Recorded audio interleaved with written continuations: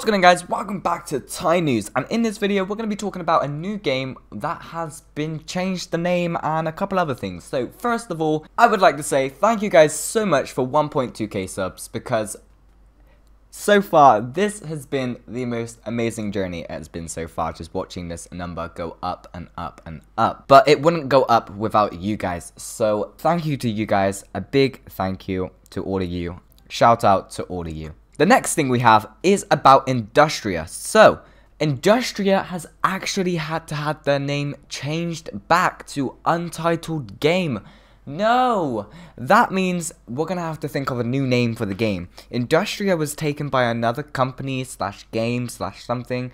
I don't really know, but let's have a little look on what Discord says. So we have a message from Hoofer. It says, due to unforeseen circumstances, the game name Industria will have to change back. We were contacted and it was requested that our game name was to be changed, as they were first to the name. We feel that it is right that we change our name back to Untitled Game.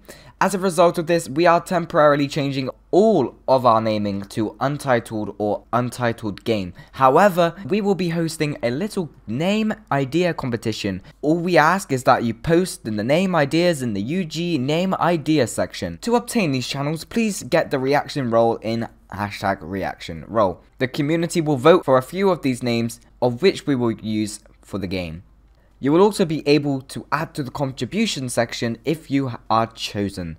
So that's good. If you guys want to be able to go and suggest your own game name for the what was to be Industria, now to be something else. And as you can see, it says ba it's backed up here as well. It is now the highest priority, not the high priority, it's the top highest priority. So this is probably going to be chosen very, very soon which is why it is in this news video. So, what do we have new to the game you're asking? Well, if you saw the last video, I kind of like put together the UI and the game and just made like my own game from the pictures that I was given. So I was like, there you go, that's what it looked like. If you guys didn't notice that, that is what was in the thumbnail. So, with that being out of the way, we have some more information about the UI because everybody loves UI. This one is actually what I'm interested in because I love dark mode. I hate light mode. It is too bright for me, especially when I'm playing at like 1, 2 in the morning. Dark mode is the best. So, as you can see here, we have dark mode, light mode, and if you click dark mode it changes to dark. And if you click the box on the left of it it changes to a blue box. The blue box is literally your hotbar box I believe. I'm not too sure. I don't remember there being that anywhere else. However we do see a similar style box on the hotbar, just with the name in the top, the number in the top corner in its own separate box. So maybe we'll be seeing that type of thing happening on the UI hotbar and stuff like that.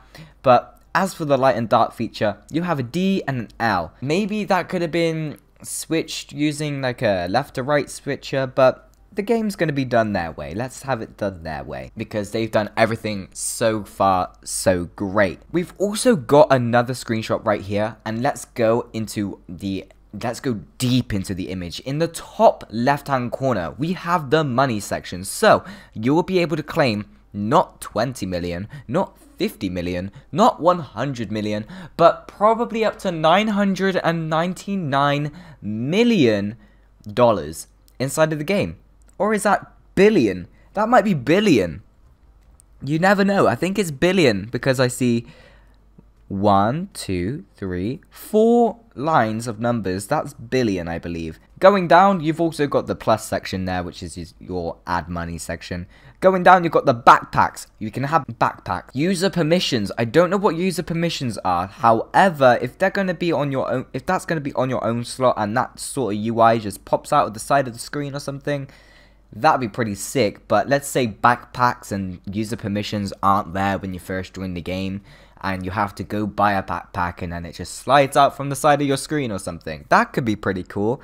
Same with user, user permissions, it only appears when you're on your base. That's pretty cool, right? It keeps the game fresh and some it, it, it gives a more unique look, I guess. We've also got settings as well and administration. I guess the administration is for the admins because why else would there be administration? We've also got chat with NPC buttons there even though there's not an NPC here unless there is one hidden in front of him which I don't think there is.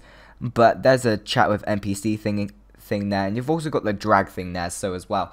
That means that drag will probably change to a lot of other buttons, so such as if you're looking at a tree and you're holding an axe, it would say, I don't know, if you're on PC, it would say uh, click to chop or something, or if you're on Xbox, it would be LT to chop or RT to chop, depending on your settings. Maybe you'll be able to change your settings in the game. Who knows? But then we have the UI, which is what I put inside of my... Oh wait, this is the full image. I've just realized. Having a look at the UI, I was like, huh, this looks really familiar. I swear I've seen this before, but it is the full image of what we saw before. So the UI image that we saw before, this is the full thing.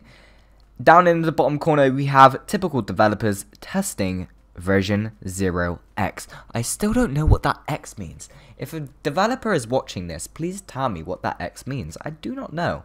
However, that I believe is everything. We've also got something on sprinting. Sprinting is working or it's being worked on right now. It has been moved to the to-do list, so it is to be done. It is coming. It is, I believe, medium priority. I'm not too sure. We have this one last message from Hoofer, and that is, I've been thinking about some ideas. I have thought of ways to practically eradicate any data size limit for long-term players. That is great for people like me, people like YouTubers that just want to play the game for years and years on end. Any player that wants to play the game for years and years on end, and they get really good at it. So there is a data size limit that your game can have, I guess. So they're working on a way that I don't know how how is that even possible? I don't I don't know. Wouldn't you have to add the data cap in the first place? I'm not too sure. I, remember, I'm not a game developer, so that is just very confusing to me. However, they are working on a way to increase the data size to be practically infinite. To a, and maybe a number that you won't be able to reach for a very, very long time. Hoofer is really excited to start designing ways for this to work. However, I've However, he may need some testers, so if you're into testing, go have a look at his Discord because you'll be able to you will be able to go apply for tester stuff there. I pres I presume you'd have to be in there a little while, get to know the people. Same same in my Discord. Get to know the community a little. Don't be a stranger. Just thought I'd share it with everyone at here as I thought this would all be interesting and that has made it into the news video. So yes it has. Let's get into screenshots that i have shown you guys before just in case you're watching for the first time right now. I believe this is the poplar tree the tree that goes up curves over slightly and then you got the leaves that you got the leaves that stick out as the sides and they bend upwards as well this tree is just the most realistic tree in roblox whatsoever that does not have 2d ui this is amazing. It is top notch, 100% tantastic. Right. Next image, we have this other tree. This is like a smaller version. Well, I wouldn't say smaller. It's probably really, really big. But we have a different type of tree. Longer in length. Leaves are on the top. More like an actual tree. More like an oak tree. The actual name is on on screen right now. And we have the palm trees as well. These palm trees are looking great. So you have the leaves spiking across, going almost left, right, everywhere. And you've also got the, I like how the fact that the palm trees can go upwards. They can bend to the left, bend to the right. And I'm looking forward to potentially seeing a bending curving palm tree that like does a loop-de-loop or whatever. Who knows? Maybe that could be a thing as a really, really rare tree, right? But that is it for everything in this video. If you did like this video, make sure to leave a like and subscribe. If you want to see more videos like this from me on the channel, then make sure to turn your notification bells on. That way, you get to stay up to date whenever I upload a video like this on the channel. And I shall see you guys in the next Thai news video. Bye!